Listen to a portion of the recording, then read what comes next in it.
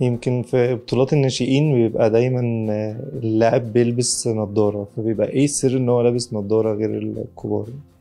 هو عشان الصغيرين بيبقى لسه بلعبهم مش عارفين قوي الكوره بيضربوها إزاي أو ممكن كورة تيجي في عين أي حد المضرب نفسه ممكن يخبط أي حد فبيبقى لازم توصل لليفل تبقى أنت كبرت إنك فوق 19 سنة إنك تقدر أنت متلعبش بالنضاره عشان خلاص عرفت الكورة بتلعب إزاي مش هتبقى خايف على نفسك وخايف على اللي معاك ف لكن وانت صغير مش بتبقى قوي بتفكر في اللي معاك أو مش بتبقى تعرف تعمل كنترول قوي على المضرب والكورة يعني. ف ف النضارة بتحاول تحمي على قد ما تقدر يعني.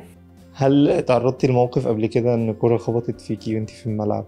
كتير طبعا بس يعني الحمد لله ما يعني مفيش حاجات في الوش قوي بس آه ده يعني وإحنا صغيرين كور ومضارب كتير قوي يعني في بطولة العالم 2014 بتاعة الكبار قدرتي تكسبي نيكول ديفيد في نص النهائي في بطولة في ماليزيا ويمكن خسرتي النهائي 3 2 وشوط الفاصل 11 9 يعني حاجة قريبة جدا نيكول ديفيد اللي هي بتتعمل أسطورة اللعبة فإنك تكسبيها في ماليزيا في السن ده كل ده عدى معاكي إزاي؟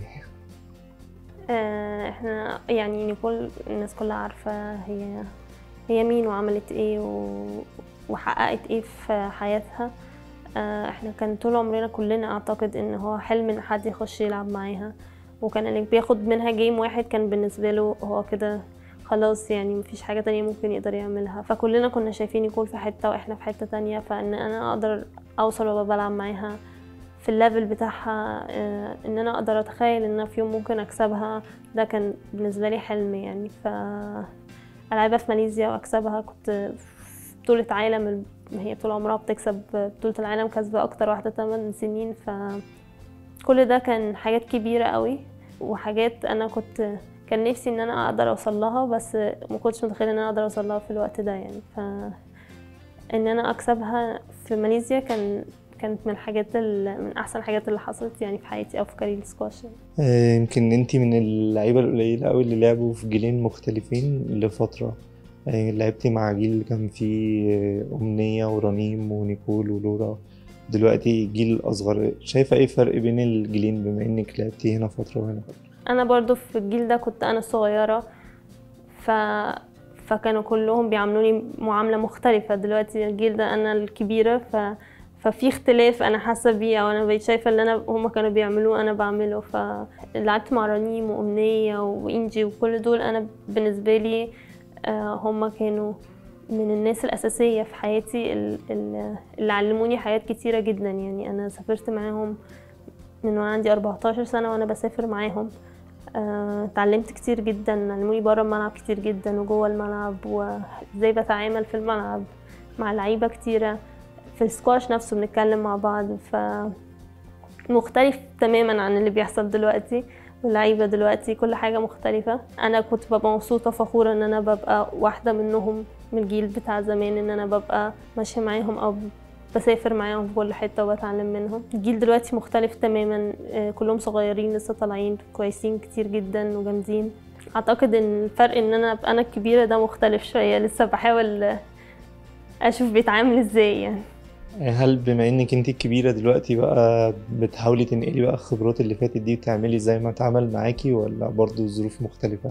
لا هي إحنا في الآخر في الأول إحنا إحنا لعبة ش- فردية وكل واحد بيعتمد على نفسه في الآخر وبيعتمد على الفريق اللي معاه. من عشر سنين عمر ما هم هم الناس هي هي اللي هتبقى بتتعامل دلوقتي زي زي اللي من عشر سنين. فهو دلوقتي برضو الموضوع بقى مختلف شوية حقيقة عن زمان. زمان كان كل حاجة بنعملها مع بعض حتى لو بننافس بعض كل واحد كل حاجة غالبا كل حاجة كنا بنقعد نسافر مع بعض بنحجز كل حاجة مع بعض التمرين بنبقى مع بعض حتى لو بنلعب مع بعض.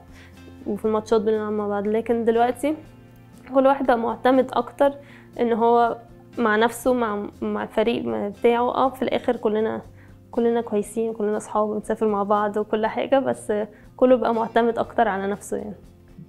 يمكن بمناسبة المنافسة دايما لما بتكون المنافسة قوية وبيبقى كل واحد بيتابع مستني التاني هيقع إمتى.